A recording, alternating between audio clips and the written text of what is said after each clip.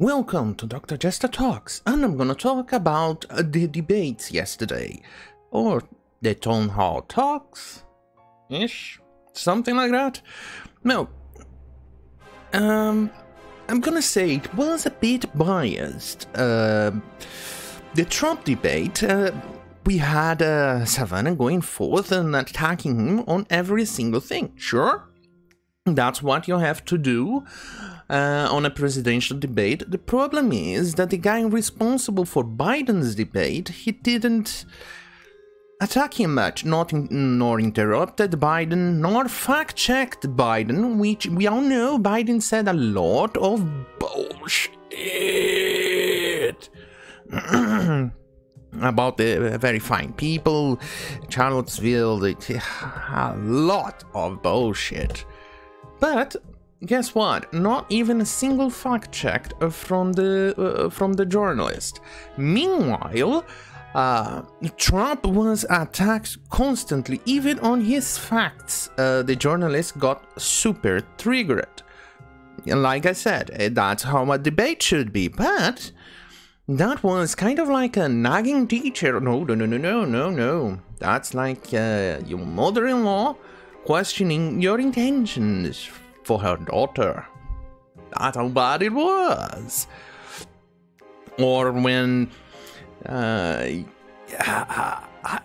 or when your parents find out you did something naughty and you got, you got caught because you're an incompetent asshole. That's why you got caught. You shouldn't have gotten caught. Bad, bad boy.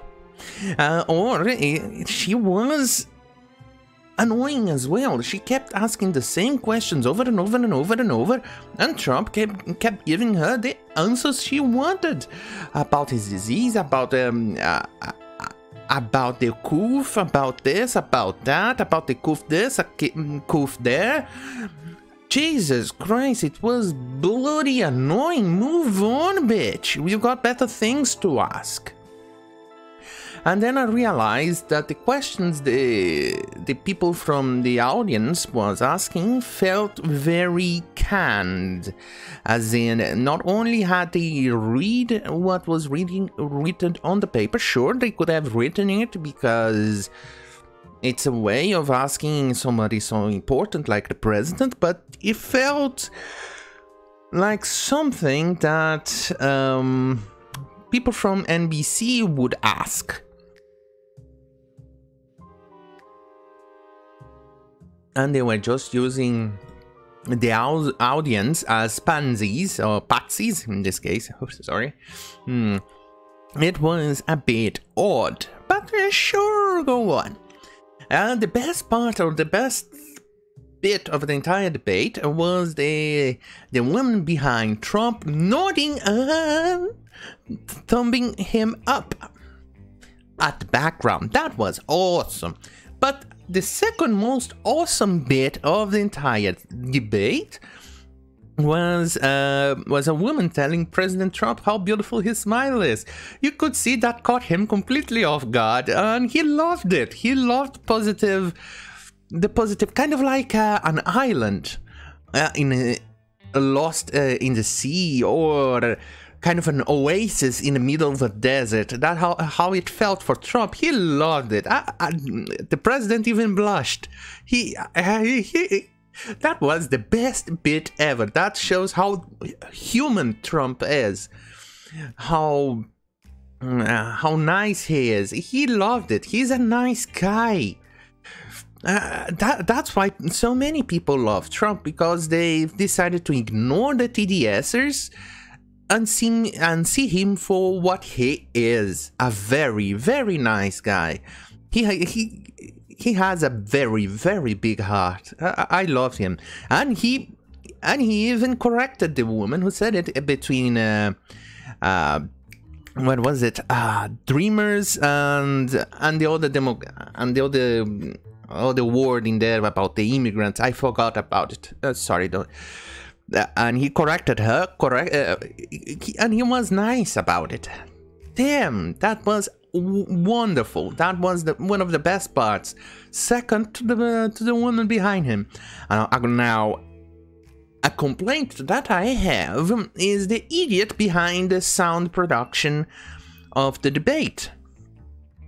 Not even I, which I kind of boomerize quite a bit on my streams uh, or or my videos in the past in which either my voice is too low or the video game in the background is too high or the music was too loud even I still could manage to do a better sound job than the idiot behind an uh, NBC. What's that?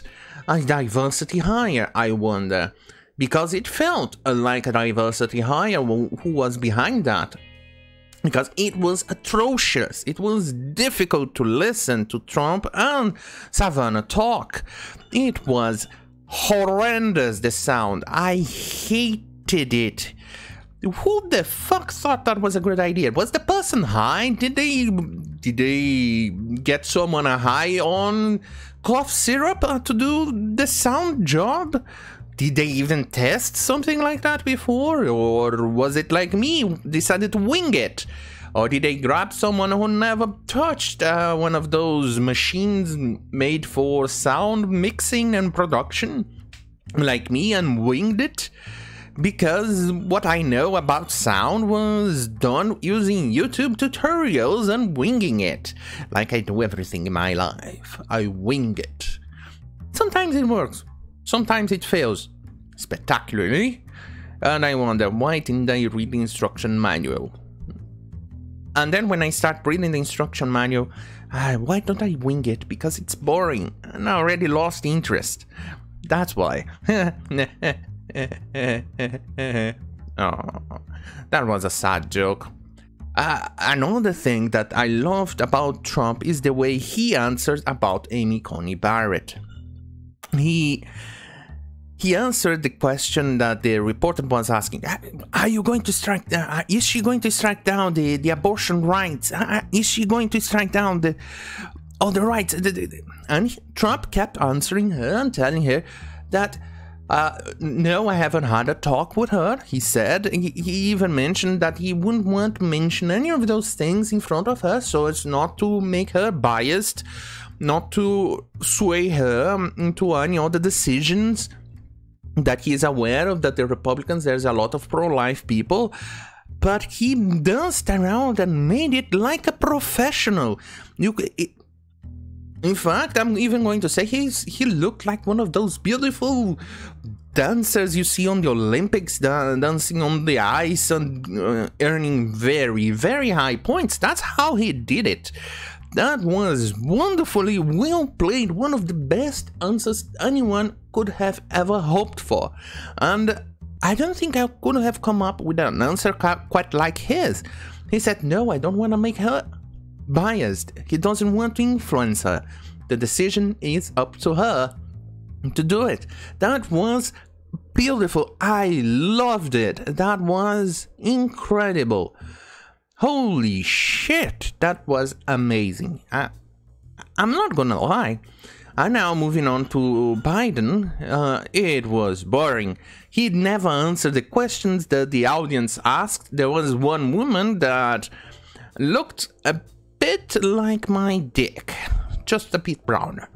And she had a very weird voice. And Biden answer, tried to answer her question by not answering her question. And the journalist responsible for Biden didn't even drill him, didn't even question him, did not fact check him, did diddly fucking squat. That was biased a lot. Was very, very, very biased. Holy shit on a pickle. But I'm not gonna lie, I loved Trump. I, of course, I could be biased because I love Trump already, but what he did was amazing. I loved it. Let me drink to that.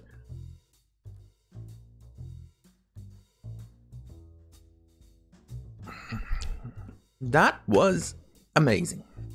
It was splendid.